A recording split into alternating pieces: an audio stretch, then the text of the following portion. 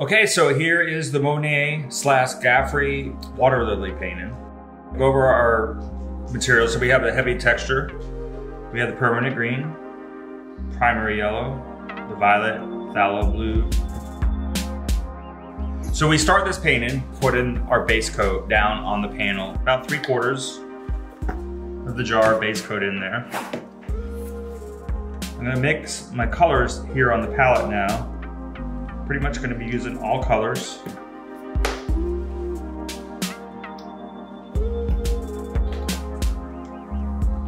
We're just going to start with a basic blue, get our blue foundation ready. A little bit deeper than that.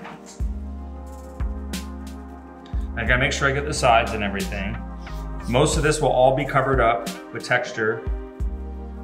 So I'm not really worried much about you know how this is all painted on here because we're gonna start blending textures and everything in here. But we do wanna get it completely covered.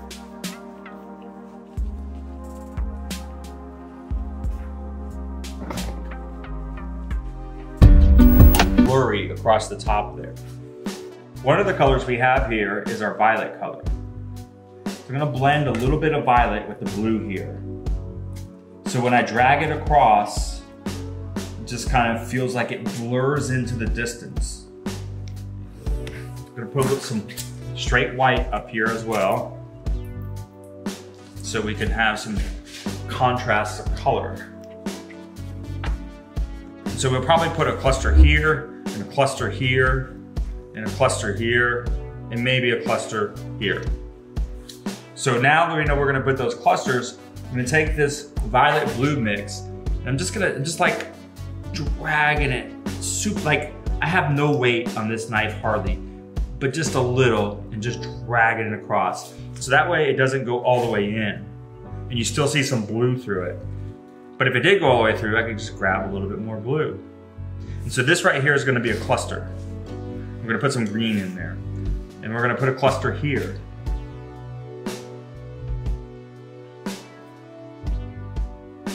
We're gonna put a cluster here. I'm only gonna work on these clusters first.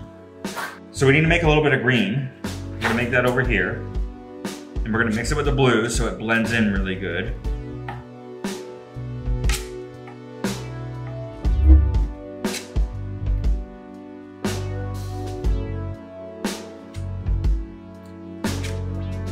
But I also wanna get a little bit of dark green on the edge here that's not textured. So we're gonna take some of the primary green, some of the blue, and a little bit of the violet and make a really dark green.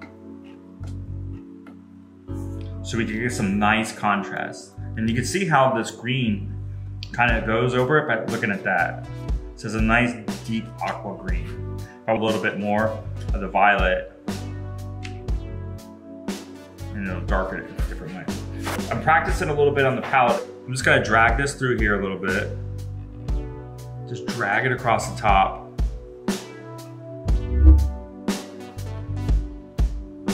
This kind of mimics what we're gonna do there, but we're gonna go heavier there. So we're mimicking that. Let's get a little bit of deep blue in there too.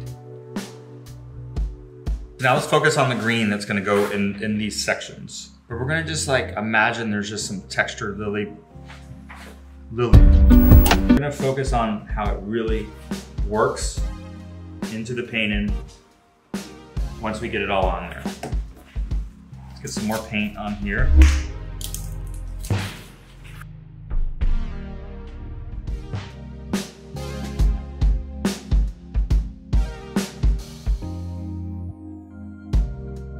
I'm gonna kind of lay on this blue here really heavy because this is like we're really close to us and we wanna like feel the texture of what's going on. I'm gonna lay this blue on, just plop it on there.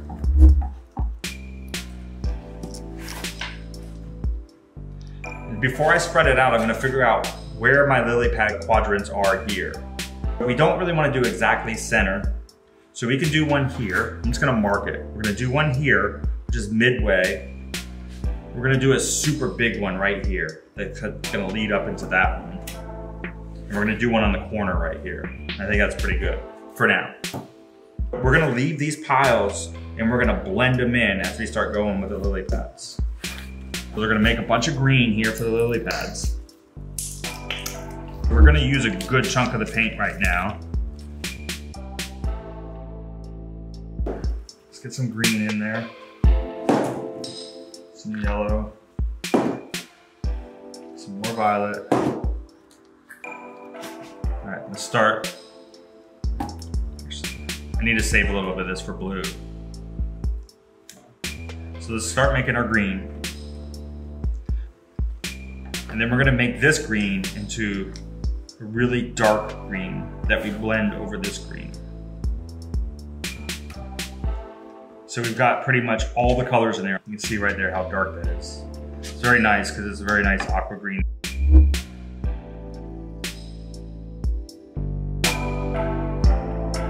What's gonna be different about these lily pad areas are they're gonna be more not realistic, but we're gonna kind of make individual lily pads, like especially here and here. This one is like a cross between what we're gonna do there.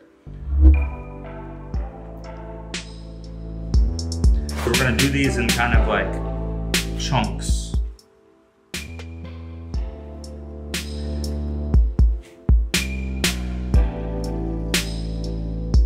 I think that's good for that area. This one, we'll figure that one out later. We're gonna put flowers and all that stuff in there, so let's focus on these big ones here. So this is where it gets kind of fun, because we're gonna put big, giant lily pads.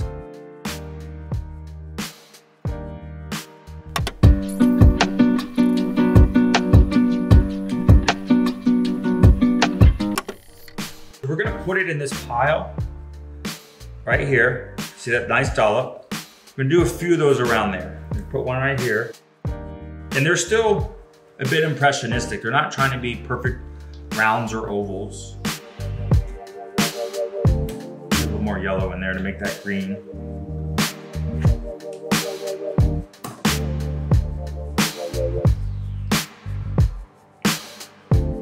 And the reason I'm leaving this big old pile here is because we're gonna like just kind of, like when it comes over the here, we're, we're gonna just do it now. Where it just kind of just like blends all in and kind of like I'm gonna do a smaller one right here, and then one right here. Take a little yellow and take one, and just like hit it with a, just a hair yellow. So it has an accent. And again, impressionistic. Violet. Not right, right here. Get a little blue under there. That's good. A little darker blue, it's like a blue shadow. It's nice.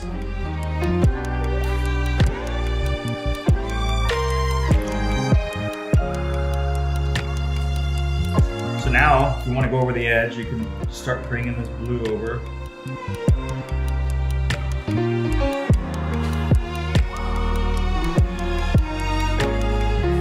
Okay, so I'm feeling pretty good about these up here.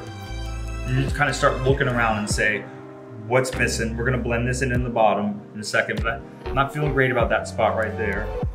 Pull a little bit of our neutral green blue here. We're just gonna drag that across. That's kind of cool, looks glowing. You, see you got these purple undertones, green overtones, and then blue undertones, and then darker mixed color undertones. But you still have separations of color that are not all blended. Because if it was all blended, it just wouldn't look right. This looks like chaos. This is a nice pod right here. Let's just add just a little dollop of yellow, just like a little tiny one there. That's good. I think this section right here is interesting. I'm gonna pull some green and drag it. Look at that, it looks like light shimmering in the water. It's really nice. So that one I just pulled in to come off the edge. But I really like how that one came in because it feels like reflection of the light of this flower into the water here with the green and everything. That was just kind of serendipitous. Here, we just need to make this all work. I'm gonna bring some dark blue to get some deep contrast under this one right here. So this is just pretty much straight phthalo blue. I'm just gonna drag it under there. You see how that gave that, that contrast under there. And if you can see this here, it just feels a little raw. So I'm just gonna pull a little bit just on that one there. So now I'm gonna fill the bottom, a little bit of texture. I kind of like this. I think it's pretty much there. I'm gonna do one, one more pop, pop through here. So I feel like this one here needs just a little bit of contrast and like pull through because it got a little homogenized and like textures. And I'm just gonna put a little yellow in there and pull it through give it a little bit of glow. A little yellow there. Let's put a little yellow in the water here. Perfect. A little bit of violet in the water there. I think that's it.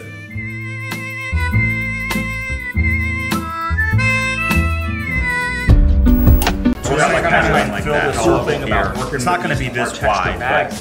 Here we go. Add a little bit more do a smaller one light so this is kind of an abstract swirl effect. It's going to make this nice little dome one right here.